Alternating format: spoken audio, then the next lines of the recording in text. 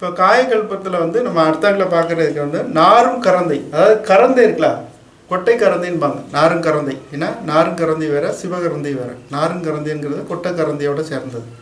இந்த கொட்டை கரந்தை எப்படி சாப்பிடணும் அப்படிங்கிறத சொல்லியிருக்காங்க. போய் நாரும் கரந்தை கொட்டை கரந்தையை பறக்க சொல்லியிருக்காங்க. காட்டிய பின் செடி தன்னை எப்பானியும் கரந்தை சமணம் வாங்கி நிழலில் உலர்த்தி முழு செடியை எடுக்க சொல்லுவாங்க வேறு காய் தண்டு பூ எல்லாம் இதுக்கு வேணும். வாட்டமில்லா சூர்ணமாய் செய்து கொண்டு வகையாக ஒரு காடி தான் நெய்யில் கொள்ளே. ஒரு காடி அளவு தான் இந்த அளவு தான் எடுக்க சொல்லியிருக்காங்க. நெய்யில் சாப்பிட சொல்லியிருக்காங்க. தாட்டிகமாய் ஒரு மாதம் தின்றாயாகில் சத்தியமாய் புத்தி உண்டாம் ஞானம் உண்டாம். அப்போ ஞானம் உண்டாம். ஞான மார்க்கத்துக்கு நம்ம வந்து பாடங்கள் கற்றுக்கிட்டு இருக்கும்போது இந்த கல்பங்களை சாப்பிட்டோம் அப்படின்னா சொல்லி கொடுக்கறது புரியும். இல்லாட்டி சுத்தமாக புரியாது. ஏதோ சொல்லிக்கிட்டு இருக்காரு புரிஞ்சு புரியும் சொல்றது அவருக்கு தான் புரியும் அப்படிங்கிற மாதிரி ஆக்கி விட்ரும் ஞானங்களை வந்து படிக்கணும். புத்தியை வந்து தெளிவடைய வைக்கணும். அப்படின்னா இந்த மருந்துகளை சாப்பிட சொல்லுவாங்க. கோட்டி இல்லா கற்பம் இது பத்தியம்தான் கேளு. இதுக்கு வந்து சைடு எஃபெக்ட் கிடையாது அப்படின்னு சொல்கிறாங்க ஐயா. குருவரிசி சாதம் நெய்யும் பாலாம். அதாவது குருவரிசி கருங்குருவை அரிசின்னுட்டு கடையில் கிடைக்கும். ஃபுல் எனர்ஜி அது. அந்த அரிசியில் கஞ்சி வச்சு குடிக்க சொல்லுதாங்க. முதல்ல சாப்பிட சொன்னது சாதாரண கஞ்சி. அந்த கீவாநெல்லிக்கு பாருங்கள் நீங்கள் பார்த்தீங்கன்னா சாதாரண கஞ்சி தான் வச்சு குடிக்க சொன்னாங்க அதே பால் கஞ்சி. அதே இது கருங்குருவை அரிசியில் பால் கஞ்சி வச்சு சாப்பிட சொல்கிறாங்க விஷயம் அதான். மற்றொன்றும் ஆகாதப்பா.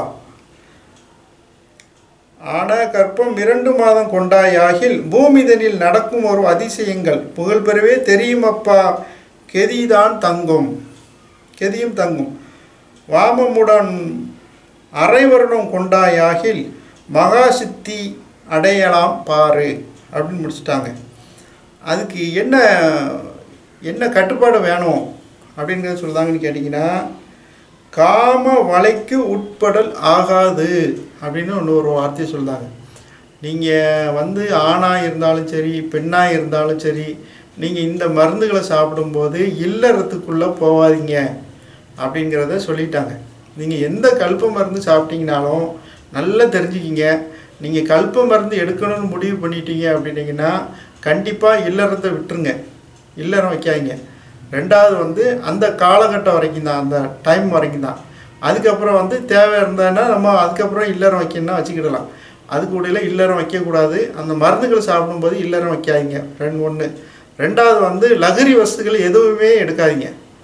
அது ரொம்ப முக்கியம். மூணாவது வந்து இந்த மாமிச உணவுகளை ஸ்டாப் பண்ணுங்க ஃபஸ்ட்டு மாமிச உணவுகள் நிறுத்துனீங்க அப்படின்னீங்கன்னா கல்பத்துக்குள்ளே வர முடியும். உங்கள் உடம்பே என்ன பண்ணுது அப்படிங்கிறது தெரியாமல் நம்ம வந்து அது உள்ளே போய் நம்ம இப்போ கொடுத்தா என்ன செய்யுது? கொடுக்கலன்னா என்ன பண்ணுது? அப்படிங்கிறத நீங்கள் கவனித்து பார்க்கணும். அப்புறம் வந்து நீங்கள் சைவத்துக்கு முதல்ல கொண்டு வந்ததுக்கப்புறம் கல்பு மருந்துக்குள்ளே வரணும்.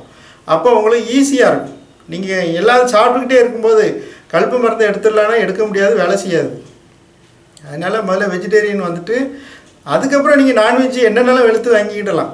அதுக்கப்புறம் முதல்ல வந்து ஒரு லெவலுக்கு வந்து உங்கள் உடம்ப கொண்டு வந்ததுக்கப்புறம் ஆய்வுகளுக்கு உள்ளே போங்க. காம வலைக்குள் உட்பட ஆகாது. கருத்தான கற்பம் இது கற்பங்கேலை. இது இது வரைக்கும் கொடுத்துருக்காங்க. இது இதுக்குள்ளே போகும்போது என்னான்னு கேட்டிங்கன்னா மிகப்பெரிய ஞான மார்க்கத்தில் வந்து அவங்க போவோம் அப்படிங்காங்க வருடம் ஆயிரம் வருஷத்துக்கு இருக்கக்கூடிய அளவுக்கு அந்த உடலுக்கு சக்தி கிடைக்கும் அப்படின்னு பதிவு பண்ணியிருக்காங்க.